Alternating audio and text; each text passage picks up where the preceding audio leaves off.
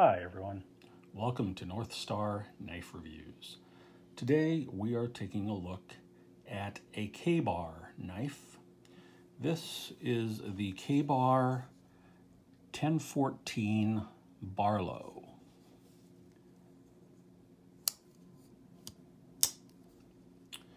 Now this knife was made by Ka-Bar uh, starting in the mid 60s up until 1984. So I don't have an exact date on this, but most likely sometime in the mid to late 70s is my guess uh, based on when they made these knives. You can see this knife is uh, three and a half inches closed. We have rosewood handles with brass bolsters and it is a Barlow style knife. Now, I don't typically collect Barlows. Uh, I appreciate them, but they're not really my favorite pattern.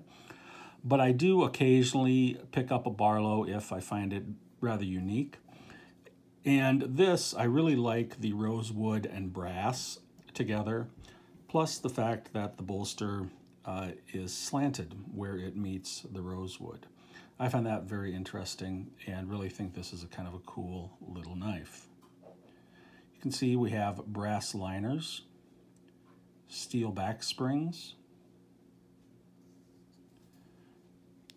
the secondary blade on this knife is about one and three quarter inches long with a cutting edge of about one and a half inches, just a little pen blade.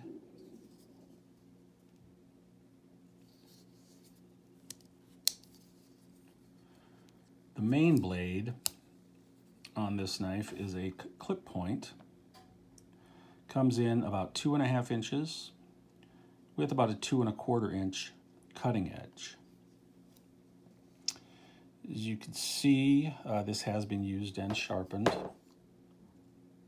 The tang stamp, Ka-Bar 1014, which is the model number, and USA. This is a US made knife. Uh, if you take a look at it, you can see that the tip of the knife is slightly bent. Uh, I'm guessing somebody tried to maybe pry something with it a little bit. Um, unfortunate, but uh, it was really fairly uh, well priced. I got it fairly inexpensively, so I'm not overly concerned about that.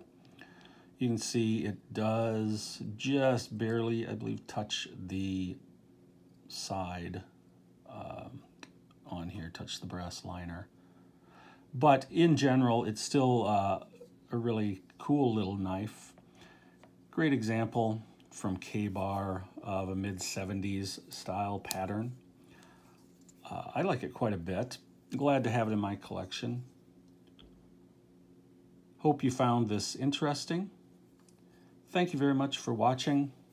Please subscribe. Catch you next time.